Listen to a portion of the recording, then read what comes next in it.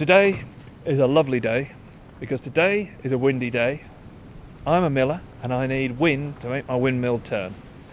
This is a very special windmill here at Denver. It's the last one in Norfolk that still works. It was built in 1835. Windmills are very, very simple things. They're just a big, tall tower like a chimney with a cap on the top with sails on it to catch the wind. Once they've caught the energy of the wind, they uses that energy to turn the stones round and grind the corn.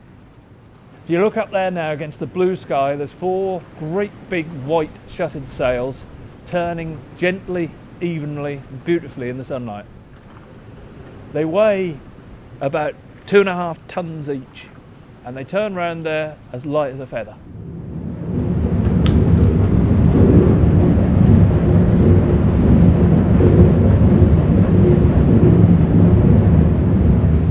We make the flour by putting the seeds in between two great big stones.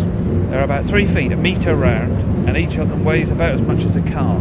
They have to be that heavy to crush the seeds small enough to make flour, because the seeds are actually very strong.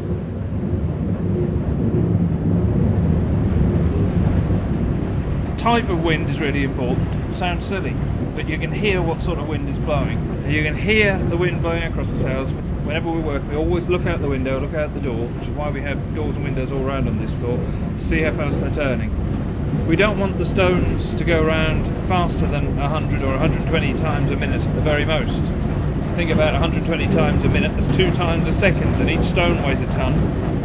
The sails go about one tenth that speed, so if the stones are turning 100 times a, uh, a minute, then the sails are turning 10.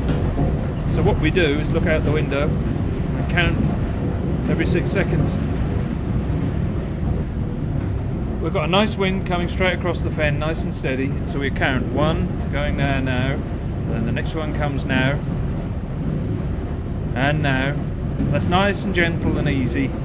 The stones are turning nicely. There's no strain on it. She's not creaking or complaining. That's just how we like her to mill.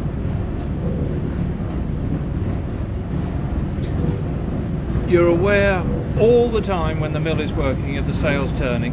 And if you don't see them straight out the window you see the shadow going across on every floor you see the shadow on the yard. And if anything goes wrong whether they go too fast or something breaks and quickly you're in the mill and you put the brake on you stop it to find out what's going on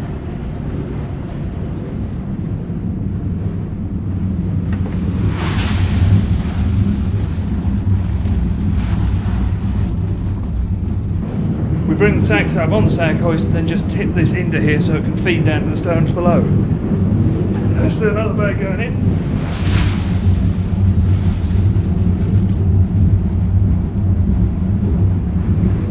So on a day like today, we'll probably have to put 40 of these in.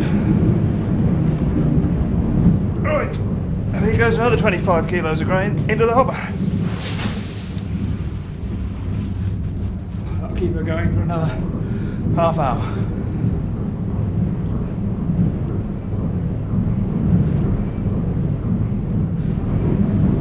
Every variety of wheat is unique and individual as far as we're concerned. Paragon is a very dark, strong, nutty, sweet variety of wheat. Makes a really nice, strong flour. Whereas the Magister is much brighter and lighter and makes a really nice, easy to eat loaf. And they're all different, every one of them is different, and we think it's important to be able to distinguish between the different ones so people can make their own flavours up. Whereas the, the mainstream flour industry is about always having it taste the same.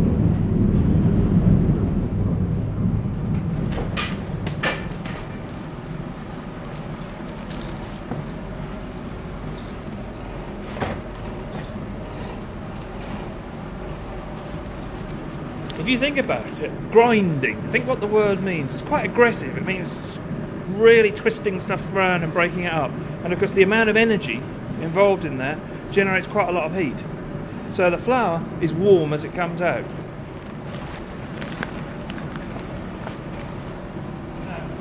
how we test how it's actually milling is to take a little bit of the flour out as it comes out from the stones. Tipping that onto your hand now. Can you feel it warm? Because it's about two seconds old. The wheat that you saw falling in the stones as we just came down the steps there is that flour now. And it's that simple. You put wheat in between the stones, it grinds the whole lot of them up into wholemeal flour, and then it just comes down into the bag, and that's it. I hope after all that you've been able to see, hear, and feel why seeds are so fascinating. We use different seeds for different flours wheat flour, barley flour, we make oat flour. And once we made the flour, we then get semolina from it, we get bran from it, we can mix them together to get all sorts of different flavours and different types of bread. We can use whole seeds in bread. We can use crushed seeds, we can use rolled seeds, all sorts, all adding different flavours and textures so that we can enjoy the bread that we eat. So next time you go into the shop and you look at flour on a shelf, you'll see there's all sorts of different types of flour there's the self raising flour, and there's plain flour, and the strong flour. All these different flours all came from seeds grown on farms and sent to either old windmills like ours, or more likely modern roller mills, to make those different flours from those seeds. Without the seeds, no flour.